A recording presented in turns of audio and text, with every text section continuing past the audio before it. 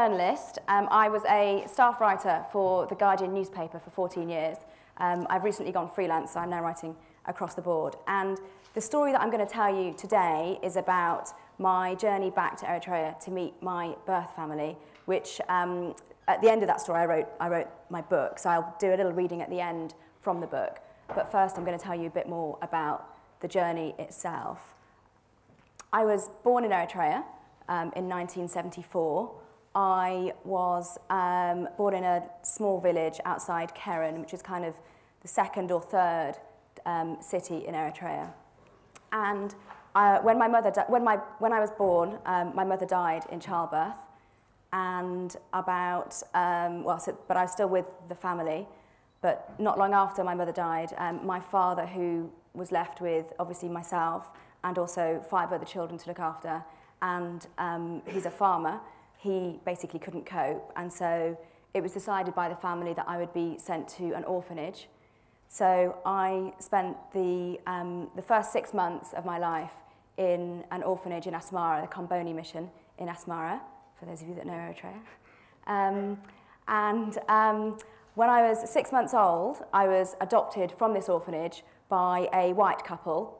My adopted mother was American and my father English. Know what you're thinking, it wasn't Madonna on an early mission. uh, they were very ahead of their time. Um, my new parents took me to live with them in Sudan, where they were teaching at the University of Khartoum. And so for the first four years, that's where I lived. When I was four years old, my adoptive mother died. And as a result of this, I um, went to stay with another family who were living, who were sort of friends. And um, they decided to go back to their home country. And so I went with them. Their home country was Norway. so, um, so I went to live in Norway for a couple of years. And then, just before I was seven, my, um, my dad basically sent for me, my, my new dad sent for me, and I joined him in the UK. So I came to the UK just before my seventh birthday. I spoke Norwegian. Um, I was living in Manchester.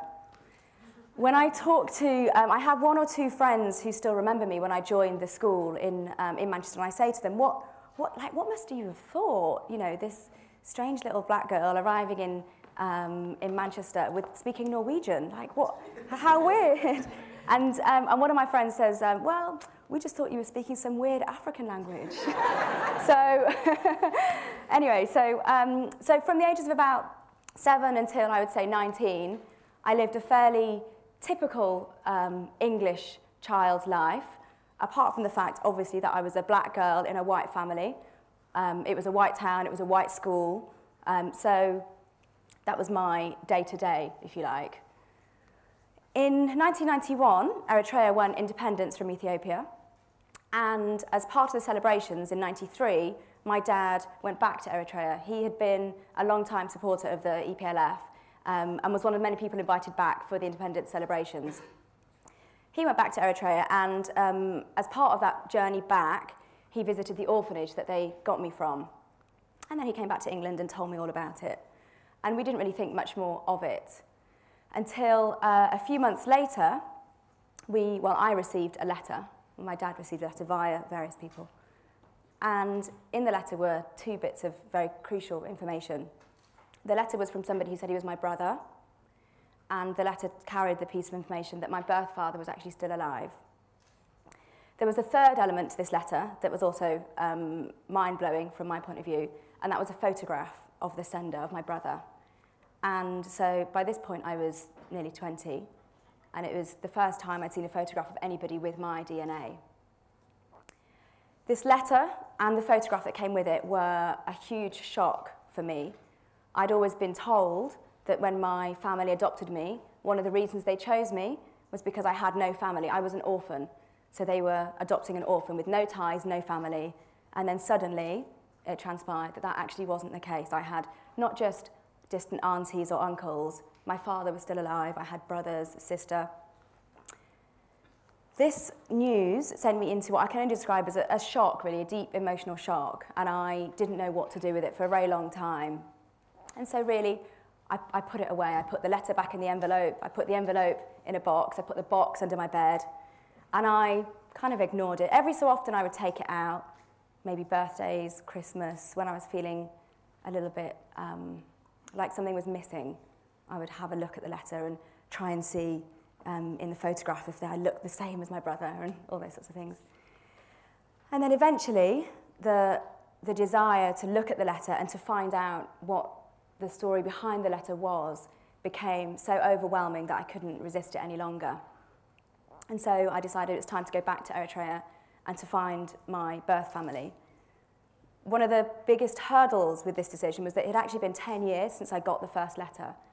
And so I had to get over the fact that there was a very real possibility that my father could have died in the time it took me to get used to the idea that he even existed. But like I say, eventually I decided that I had to go and find him. So I announced that I was going to go to back to Eritrea, find my birth family. And from deciding to go, it was about a month before I was actually there. It was all done very, very quickly. Um, I was very lucky and sort of logistics worked out very quickly. And it was relatively easy. And so I went back to, um, to the country that I'd been born in just before my 29th birthday. When I arrived in Eritrea, one of the first things I noticed was it was the first time I'd been somewhere where I looked the same as everybody else. Um, this was a huge, huge thing for me, and I was really excited about looking like everybody else. Um, so we're just gonna. So this is me having arrived in Eritrea. Now, when I look at this picture now, actually, I look like a tourist. but then I thought, wow, I look so Eritrean. um, so we, I, I, had a, I had a couple of days, a bit like a tourist really, in Eritrea, just trying to um, get used to the place. And then I met my birth family relatively quickly, actually, a lot quicker than I thought I was going to. And, um, and then it, it was, you know, the, the meeting was utterly mind-blowing and from, you know, something that will stay with me forever and which has changed my life forever. There's before I met them and now there's after I've met them. And it's, it's just completely um, changed me on a very, very deep personal level. However, a couple of days after I met them, my father had gone back to his village, my sister had gone back to her village, and I started, I hit a bit of a slump after the euphoria really of, of that big meeting. I hit this slump, and I decided that what I really wanted to do was to see more of my father and to see where my father lived, to go to my father's house. And so um, we decided, my brothers, two of my brothers, one of my brothers lives in the capital and another one lives in Keren, and we decided to go to my father's village. So this is um, me waiting in the bus queue in Barentu. um, I like this picture because it's the beginnings of me looking a little bit more Eritrean and a little bit less like a tourist. Um, so we made the bus journey to my father's village. We broke it up into two days, stopping off at my brother's first and then um, going to the village. And it was a fairly uneventful um, African bus journey. Broken bus, burst tyres, checkpoints. Um, I loved every minute of it. But as I got nearer to my father's village, I did realise that I was um, experiencing a lot of fear. I was very fearful um, of the villages because all I'd seen, all I'd read, all I'd heard for a long time was about the poverty, about the devastation, about the war of Africa, and in particular the villages. The only images I'd really seen on TV screens were incredibly negative, and so I was very um, apprehensive of going to the villages.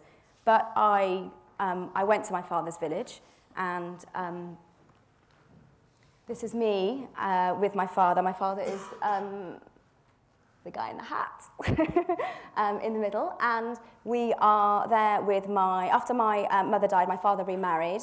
And so the woman next to me is his um, second wife and my half brothers and sisters. And then we also, my, my brother lives, one of my brothers lives um, just up the path, really. So we went to go and visit him as well. So this is my brother, Stefanos, um, with his wife and children. I had a very interesting experience with, with the children.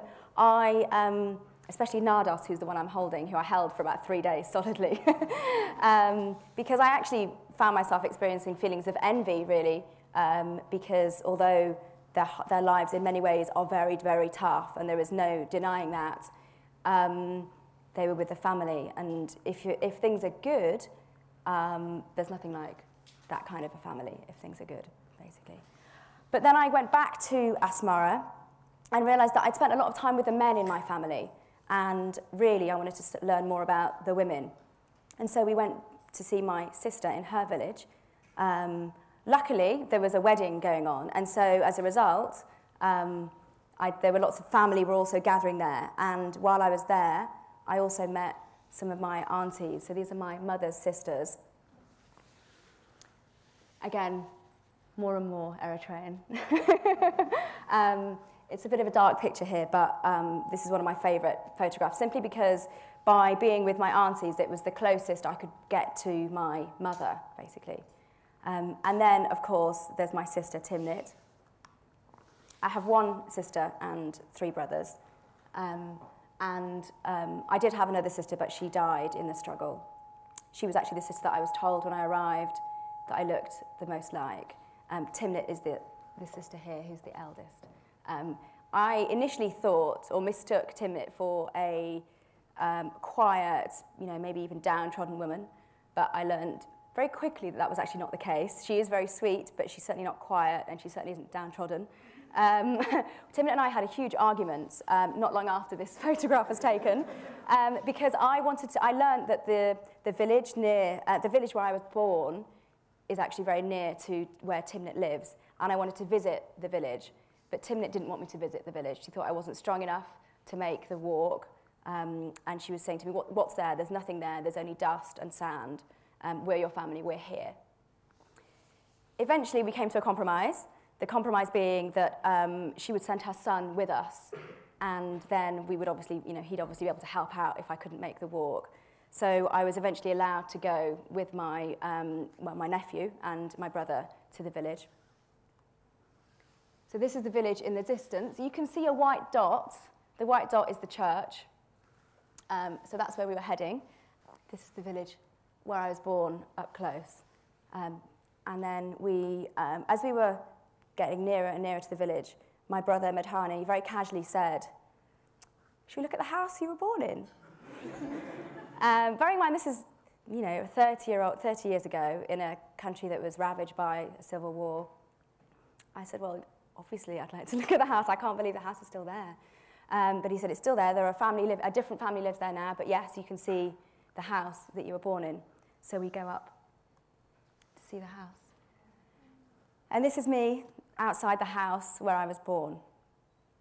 This is, um, for me, the heart of the theme of discovery and rediscovery. When I set out on the journey, I thought that it was all about meeting my family but actually, I feel like this house was calling me. And because I, this wasn't on the schedule, this wasn't on the plan, and I had to fight in the end to actually get there. Um, and so the fact that I made it to this house without really realizing that that's actually where I was trying to go, for me, is about coming full circle. And it's about discovery and rediscovery in the context of being a diaspora African. As I said with the first slide, when I first got to Eritrea, I thought it was, you know, I've, I've arrived, I belong. Um, and I realized very soon that actually I'm a, I'm a different kind of Eritrean. I'm not an Eritrean who grew up there. I'm a, you know, I, I, I was born there. My early months were there. And that gives me a tie, but it's a very different experience. But what it does give me is this identity of being a returnee, which in itself carries its own flag in many ways and is a very common identity and just as valid and if you're a returnee, in, in, um, in Eritrea they have a word for it, which is um, a derogatory term. um, they talk of them as being beles, which is the prickly pear. And the prickly pear only comes out in August, as do the returnees. Um, but I've come to embrace that, and that's fine. Um, and there are different ways of being a returnee. I'm going to close with a very short reading. which is um, just after um, this photo was taken, we went into the house. When my brother has gone, I walk around the sleeping area touching everything. The walls, the few clay pot, storage pots that were on the floor. How old are they? Did she carry them? And then I finally come back to the bed. I run my hand along it, noting how cleverly everything is built into the walls of the hidmo, a solid mass like a waist-high ledge. Double checking that the other others are engrossed in their conversation, I slip off my shoes and lie down. Strange how just a few moments ago I was desperate to leave this room. Now I look around, seeing what she would have seen. I close my eyes and take a deep breath, smell what she would have smelled. And then, keeping my eyes closed, I lie there for a few moments, just listening out for the sounds she would have heard the chatter of the living area, the chickens outside, the occasional donkey. This is as close to her as I will ever get. Worried about the others walking in on me, I open my eyes and sit up. I sit there for a while longer, not sure what I'm waiting for. And then the tears come. Not forced, not sobs, just a few tears at the sadness of it all. I will never meet my mother. I will never have a photograph of her. But at least now I have something to remember her by. Thank you.